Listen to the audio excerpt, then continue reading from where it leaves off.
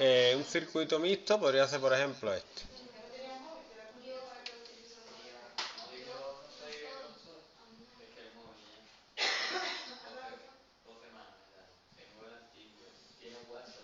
¿Vale? Es un circuito A mixto. ver si me acuerdo bien. Primero agrupo las que están en paralelo, Sí. luego, como me quedan serie, se agrupan otra vez. Esto lo puedo hacer solo sin, Primero, no, no. Primero tú vas agrupando aquí. Suma las dos que están en paralelo. Esta va a ser de 5. Y esta es 1 partido resistencia total igual a 1 partido 8 más 1 partido 4. Yes. Se hace mínimo común múltiplo, que es 8. Queda 1 partido 8 más 2 partido 8. Esto es 3 octavos, con lo cual la resistencia total va a ser 8 tercios. Redondeando,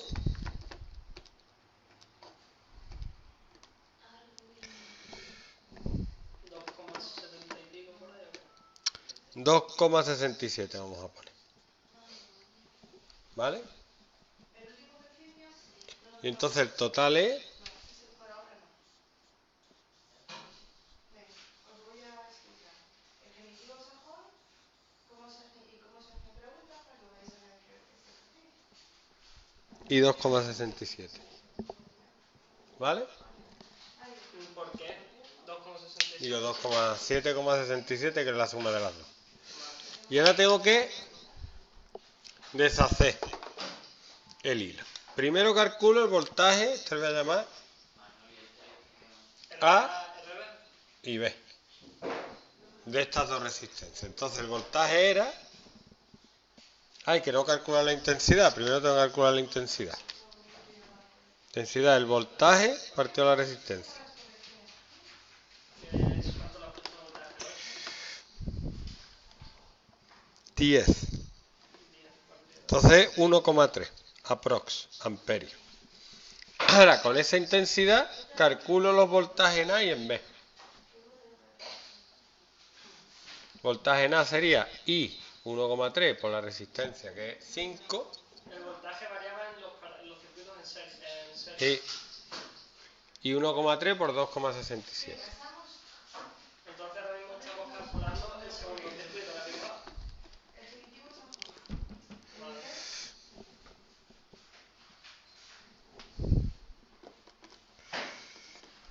Para decir, por ejemplo, para expresar la posición de algo, Este es el voltaje que da aquí y aquí. 6,5 y de 3, aquí 3,47. Con esto lo tengo casi hecho. Porque tengo la intensidad que va por aquí, que es 1,3. Pero no tengo la intensidad que va por aquí. Le voy a llamar I1 y la que va por aquí, que le voy a llamar I2. El caso es lo que sí sé el voltaje que da aquí y aquí, que es VB.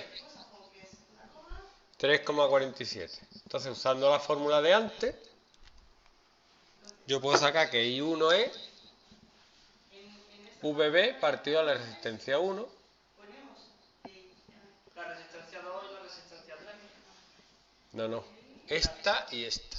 Y la otra que es. La otra no, la otra es 1,3, la intensidad. Pero si le llamas, por ponerle nombre, la primera resistencia 1, resistencia 2 y resistencia 3. No, porque entonces ya se me va el lío. Aquí que a esta le voy a poner R3, R1 y R2. Esto es lo que hay. Porque yo lo valgo. ocurre que se, se ve, se traduce al revés. No, no podemos ir por aquí, pero vamos por el final. El gato de María. ¿Estamos? Y ya está acabado, ¿no? La casa Mm. de Juan.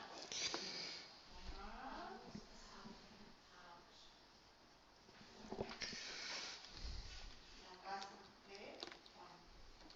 El hermano, la hermana de, de Juan. No, de Juan y de- de Nieves. Nieves. Ahora vamos a ver lo que pasa aquí. La hermana de Nieves. ¿Vale? Pues ya serían amperios. Si suman los dos, te tienen que dar 1,3. Dice la hermana de por comprobar.